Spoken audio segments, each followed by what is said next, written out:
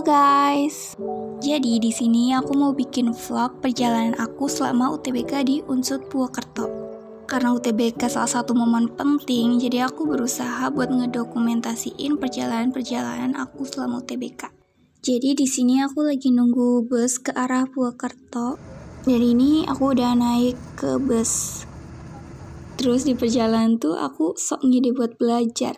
Tapi tuh ternyata bikin pusing banget dan akhirnya ya udah aku cuma nge-record video selama perjalanan. Tapi nggak semua videonya aku tampilin di sini karena videonya tuh geter banget. Padahal kayak udah diedit tapi tetap nggak ada perubahan dan nggak layak banget sumpah buat dipertontonkan. Dan tiba-tiba aja nih aku udah sampai di terminal Purwokerto dan di sini aku kayak nyemil-nyemil gitu sambil nunggu Grab karena di situ aku sendirian dan gak ada teman ngobrol jadi aku tuh bingung kan mau ngapain. Terus akhirnya aku tuh kayak ngobrol-ngobrol sendiri gitu kayak lagi nge-review terminal Pemalang sama Purwokerto yang jauh beda banget. Di situ aku lumayan culture shock. Gak lama grabnya datang dan ini aku lagi OTW ke kosan. FYI di sana tuh aku nginep sekitar dua hari di kosannya kakak kelas aku gitu dan selama di kos aku tuh nggak nge-record video apa pun dan ini tiba-tiba udah di hari H UTBK. Ini aku lagi OTW ke pusat UTBK naik Grab. Dan ini aku udah sampai di Unsud di depan gedung FMIPA.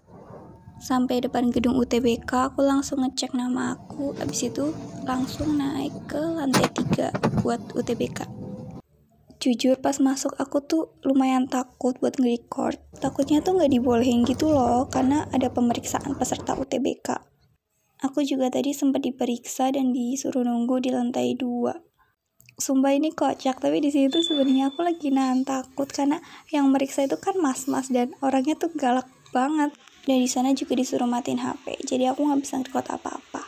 Ini aku udah selesai UTBK dan di luar kebetulan tuh hujan gede banget jadi aku mampir ke kamar mandi dulu sambil nunggu hujannya reda. Pas udah lumayan reda, aku langsung ke depan gedung FMIPA buat nunggu Grab. Dan di sini tuh udah maghrib dan udah sepi banget.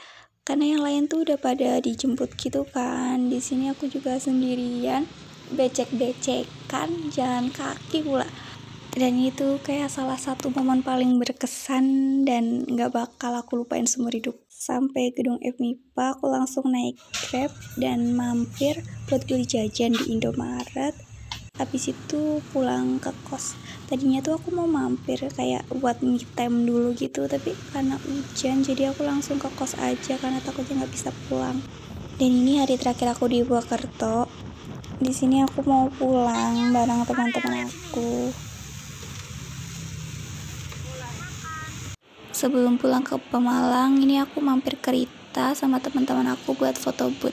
Tapi aku lupa videoin. Jadi ini aku cuma ngevideoin pas aku di Gramedia. Tapi di sini aku nggak beli apa-apa karena aku cuma nganterin temen aku yang katanya mau beli buku kedinasan. Aku juga mampir di Minisa sama DIY cuma aku pas di DIY nggak nge-record. Dan ini aku udah sampai Purbalingga buat makan bakso dan ini video terakhir aku karena abis ini aku nggak ngevideoin apa-apa. Jadi udah selesai sampai sini aja